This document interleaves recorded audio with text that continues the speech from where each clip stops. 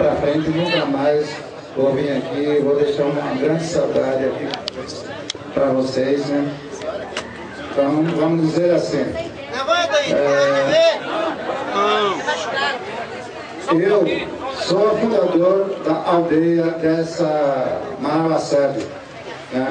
E foi expulsado pela, pelo cacique Damião, porque eu sou é, nada de braço aberto, é, eu sou mais conhecido de todo mundo, né? o pessoal me trata bem nessa região, é, eu, eu, sou mais conhecido da região, né? então é, o pessoal me expulsado daqui, é, como eu vou dizer, é o inveja, ciúme, né?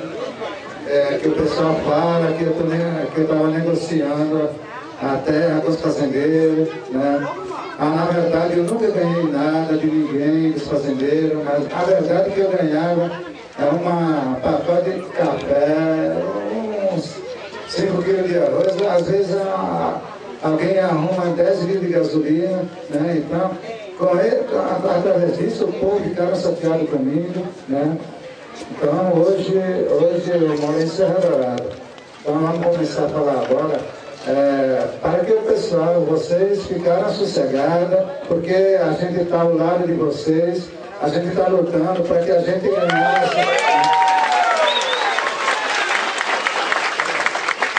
Desde que eu comecei a lutar, né, eu estou a favor, eu não tenho medo de nada, porque eu ando ameaçado pelos próprios irmãos, sabe? Porque eu falo, porque essa aldeia, quem me afundou foi eu que afundei, através da conversa da FUNAI. A FUNAI falava assim, não, vamos montar a aldeia aqui, a aldeia provisória, depois a gente segue lá na aldeia velha, onde é Serra Nova Dourada, né?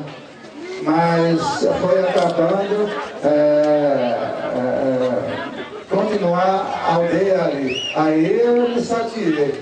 Aí agora a minha preocupação com essa aldeia aqui é, aqui não tem nada. Como que os índios vão abastecer agora? Ali não tem caça, não tem peixe, né? Para a pessoa pegar peixe. Tem?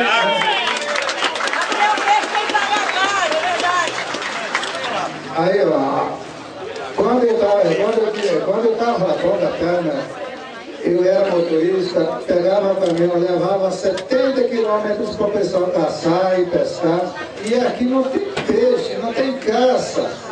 Agora, imagine, se ah, desocupar essa área, bom, que jeito que os índios vão viver? Primeiro, a FUNAI não ajuda mais índio. Né? A FUNAI fala que não tem dinheiro. Né? Não tem dinheiro.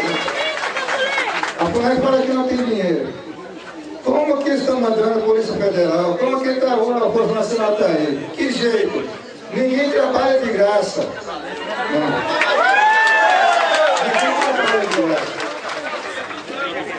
Então, esse negócio que a gente está lutando, a questão de, da reserva indígena, isso aí é erro da FUNAI, é erro da, da, da, do Cine, erro do ONG, né?